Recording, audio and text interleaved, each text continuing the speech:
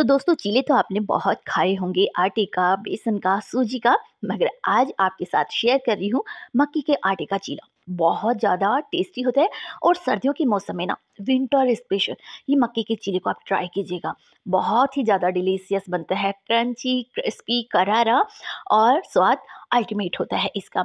और साथ ही शरीर को जो मक्की का आटा होता है ना, गर्माहट देता है। सर्दियों में ही खाया जाता है मक्की का आटा। तो इस सर्दी में आप ये जो चीला है ना मक्की का आटे का ट्राई कीजिएगा, बहुत ही बढ़िया बनता है। तो यहाँ देखिए मैंने एक ले लिया है बाउल और इसमें डाल रही हूँ एक कप मक्की का आटा। तो आप कोई भी कटोरी, कोई भी कप यहाँ पर मेजर ले सकते हैं और इसमें मैंने डाल दिया है आधा चम्मच धनिया पाउडर और बढ़िया सा कलर निखर करके आया हमारे चिले का तो इसमें डाला है आधा चम्मच मैंने हल्दी पाउडर और अपने स्वाद के अनुसार आप इसमें नमक डाल सकते हैं। मैं यहाँ पौना चम्मच के लगभग नमक का यूज़ कर रही हूँ और यहाँ पर डाल रही हूँ चटपट सा हमारा चीला बने, उसके लिए मैंने आधा चम्मच लाल मिर्च का यूज़ करा है। साथ ही डाल रही हूँ चौथाई चम्मच के लगभग गरम मसाला बहुत बढ़िया फ्लेवर आता है दोस्तों। और इसमें डालेंगे हम अजवाइन। बहुत बढ़िया कॉम्बिनेशन जाता है मक्के के आटे के साथ अजवाइन का। तो थोड़ा सा हाथ से क्रश करके डाल दीजिए और इसमें अब डालेंगे हम हरी मिर्चें। तो दो हरी मिर्चें मतलब थोड़ी सी लाल हो गई थी तो दो हरी मिर्चों को बारीक करके मैंने यहाँ पर डाल दिया है। अब आपको करना क्या है, इसमें डालेंगे हम एक प्याज बारीक कटा हुआ, बढ़िया क्रंचीनेस मतलब आएगी इससे हमारे चीले में। तो सारी चीज़ों को अच्छे से मिक्स कर लिया और मिक्स करने के बाद इसमें हम डालेंगे पानी और अच्छे से मिलाते हुए, पहले थोड़ा ही पानी डालेंगे क्योंकि ज़्यादा डाल देंगे ना तो फिर घोलने में आपको परेशानी होगी। तो थोड़ा थोड़ा पानी करके डालेंगे तो गाठी भी नहीं बनेंगी और हमारा जो बैटर है वो बढ़िया से हम उसे घोल लेंगे। स्मूथ सा बैटर हमारा बन करके तैयार होगा। तो यहाँ पर घोल को तैयार करने के लिए मैंने दोस्तों गर्म पानी का यूज़ करा है। बहुत ज़्यादा गर्म भी नहीं है। गुनगुने से थोड़ा सा गर्म। तो बस देखिए, यहाँ पर हमने बैटर को अच्छे से तैयार कर लिया। अभी बहुत ठीक लग रहा है। तो थोड़ा पानी इसमें मैं और डालूँगी। तो आप देख रहे हैं कि मैंने इसमें पानी डाल करके इसको पतला कर लिया है। अभी ये काफ़ी पतला आपको नज़र आ रहा होगा, मगर जब हम इसे रेस्ट के लिए रखेंगे ना 10 से 15 मिनट के लिए आप इसे ज़रूर रखें रेस्ट के लिए।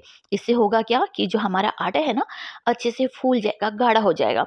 तो पंद्रह मिनट के लिए मैं इसको कवर करके रख दूँगी और आफ्टर 15 मिनट आप देखेंगे कि जो हमारा बैटर है, पहले के कंपैरिजन में कितना गाढ़ा हो गया है।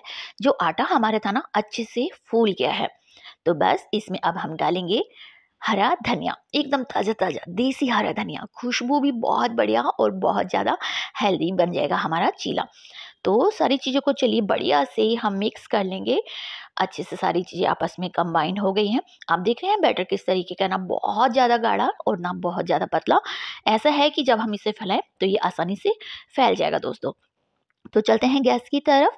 और यहाँ गैस पर मैंने एक तवा रख दिया है और नॉनस्टिक तवे का यूज़ कर रही हूँ। थोड़ा सा हम इसमें घी डाल देंगे, तवे को अच्छे से ग्रीस कर लेंगे और अब लेंगे एक कड़छी बैटर हमारा मक्के के आटे का। बस स्प्रेड कर दीजिए और इसको सही बताऊँ ना दोस्तों तो बहुत ज़्यादा मत फैलाइएगा और बस थोड़ा ना छोटा ही बनाएँ। पूरा ऐसा नहीं कि तवा आप बाहर दें तो वो पलटना बहुत ज़्यादा मुश्किल हो जाएगा जब ये एक तरफ़ से ऊपर से इसकी सरफेस ना सूख जाए। तभी आपको इसको पलटना है, तब तक इसके कॉर्नर्स में हम डाल देंगे थोड़ा सा घी। आप चाहें तो यहाँ पर तेल का यूज़ कर सकते हैं।